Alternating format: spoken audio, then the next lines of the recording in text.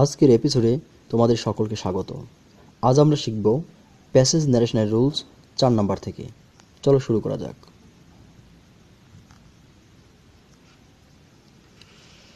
যদি রিপোর্টের স্পিচ এ শুধু ইয়েস থাকে, তবে subject plus replied in the affirmative বা সাবজেক্ট প্লাস অক্সিলারি ভার্ব ব্যবহার করা হয় এবং রিপোর্টের স্পিচ এ ইয়েস এর পর আরও বক্তব্য থাকলে সেক্ষেত্রে হবে subject plus replied in the affirmative and said that অর্থাৎ যদি শুধু ইয়েস থাকে, তাহলে আমরা লিখব সাবজেক্টের পরে রিপ্লাইড ইন দ্য অ্যাফার্মেটিভ আর যদি ইয়েস এর পরে আরও বক্তব্য থাকে, সেক্ষেত্রে সাবজেক্টের পরে আমরা লিখব কি? Replied in the affirmative and said that চলো এক্সাম্পলের মাধ্যমে ব্যাপারটা আরও ক্লিয়ার করা যাক।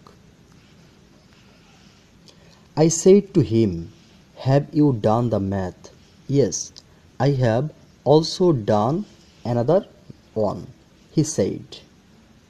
তাহলে দেখো I to him, Have you done the math? এটা একটা ইন্ট্রোগেটিভ সেন্টেন্স সেজন্য আমরা লিখলাম আই আক্সড হিম এরপরে যেহেতু অক্সিলারি ভার্ব দ্বারা ইন্ট্রোগেটিভ সেন্টেন্সটা হয়েছে এর জন্য আমরা লিখলাম কনজাংশন ইফ তারপর দেখো ইউ ইউ হলো সেকেন্ড পারসন, পরিবর্তন হবে রিপোর্টিং ভার্বের অবজেক্টের সঙ্গে, এখানে সাবজেক্ট হিম হিমের সাবজেক্টের ফর্ম বসবে হি এরপর দেখো হ্যাভ ছিল জন্য হ্যাড এরপরে done the math done the math yes I have also done another one he said yes বলছে কে? ইয়েস বলছে হলো হি এর জন্য আমরা প্রথমে লিখব হি আর ইয়েসের জন্য আমরা লিখতে পারি রিপ্লাইড ইন দ্য অ্যাফার্মেটিভ এরপর দেখো অর দিয়ে লেখা হয়েছে, অর্থাৎ এই নিয়ম ছাড়া আমরা এইভাবেও করতে পারি। He said that he had এরপরে অংশ ছিল I have also done another one এই জন্য আমরা লিখলাম অ্যান্ড হি সেড দ্যাট অর্থাৎ, এবং সে বলল যে আই ফার্স্ট পারসন ছিল জন্য পরিবর্তন হবে রিপোর্টিং ভার্বের সাবজেক্টের সঙ্গে। এখানে রিপোর্টিং ভার্বের সাবজেক্ট হলো হি এর জন্য এখানে হি বসছে। এরপরে দেখো ছিল হ্যাভ হ্যাভ থাকলে হ্যাড বসে, এরপরে যা ছিল তাই বসে যাবে। অলসো ডান অ্যানাদার ওয়ান চলো এবার পাঁচ নাম্বার রুলস দেখা যাক। যদি রিপোর্টের স্পিচে শুধু নো থাকে, তবে subject plus replied in the negative বা subject plus auxiliary verb plus not ব্যবহার করা হয়।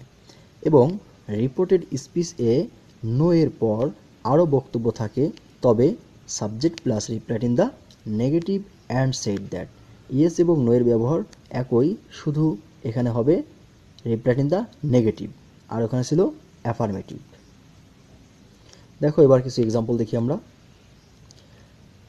I said to him have you done the math no I will do it later he said তাহলে আমরা লিখলাম I আক্সড him if he had done the math এরপর দেখো এখানে no ছিল নো এর জন্য আমরা লিখলাম he replied in the negative অথবা আমরা এটাও লিখতে পারি যে he said that he had not এরপর দেখো কী ছিল I will do it later এজন্য আমরা লিখলাম and he said that he এরপর দেখো অ্যান্ড হি সেড দ্যাটের পরে আই ছিল আই হলো ফার্স্ট পারসন পরিবর্তন হবে রিপোর্টিং ভার্বের সাবজেক্টের সঙ্গে।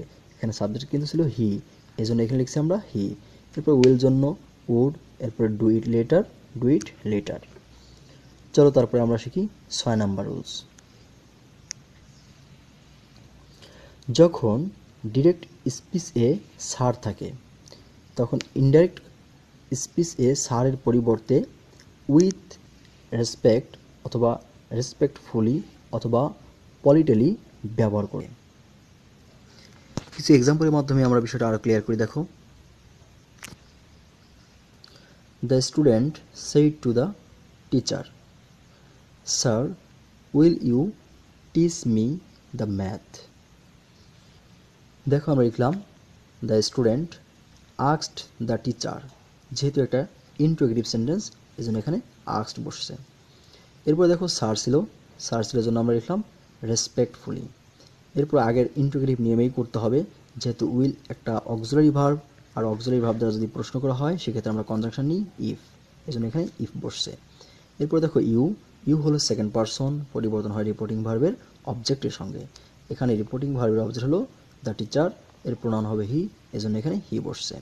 এরপর দেখো উইল ছিল জন্য উড এরপর দেখো টিস টিস লিখলাম আমরা, এরপর মি মি এখানে হলো ফার্স্ট পারসন মি আছে কিন্তু অবজেক্টিভ ফর্মে আই মি যেহেতু ফার্স্ট পার্সন পরিবর্তন হবে রিপোর্টিং ভার্বের সাবজেক্টের সঙ্গে। রিপোর্টিং ভার্বের সাবজেক্ট হলো এখানে the student the student pronoun he কিন্তু এখানে মি আছে যেহেতু অবজেক্টিভ ফর্মে হির অবজেক্টিভ ফর্ম বসবে হির অবজেক্টিভ ফর্ম হিম এই জন্য এখানে হিম বসছে। এরপর দেখো ছিল দ্য ম্যাথ এরপর দ্য ম্যাথ আমরা লিখে দিলাম।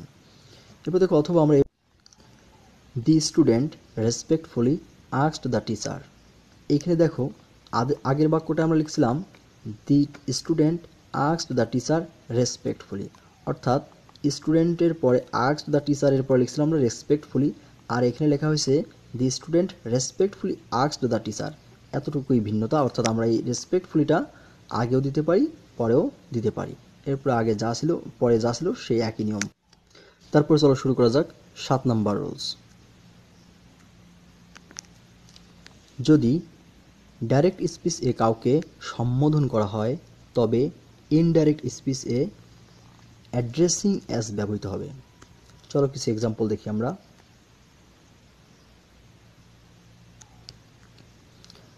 Are you okay Tonni said Piu আচ্ছা এখানে আমাদের দেখো লিখলাম অ্যাড্রেসিং অ্যাজ তন্নি যেহেতু এখানে বলা হয়েছিল are you okay Tonni said Piu Piu বলছে যে আর ইউ ওকে তন্নি তন্নিকে বলছে। এই জন্য আমরা লিখলাম কি? Addressing as Tonni. এরপর দেখো পিউ আক্সড পিউ আক্সড যেহেতু একটা ইন্ট্রোগেটিভ সেন্টেন্স এই জন্য লেখা হলো কি? পিউ আক্সড এরপর ইফ কনজাংশন ইফ বসছে, যেহেতু অক্সিলারি ভাব দ্বারা প্রশ্নটা করা হয়েছে। এরপর দেখো ইউ হলো সেকেন্ড পারসন পরিবর্তন হয় রিপোর্টিং ভার্বের অবজেক্টের সঙ্গে। এখানে রিপোর্টিং ভার্বের অবজেক্ট হলো তন্নি। এই জন্য তন্নির প্রণাম বসছে শি এরপর ছিল আর আর থাকলে বসে ওয়াজ এরপর ছিল ওকে ওকে লিখে দেওয়া হলো।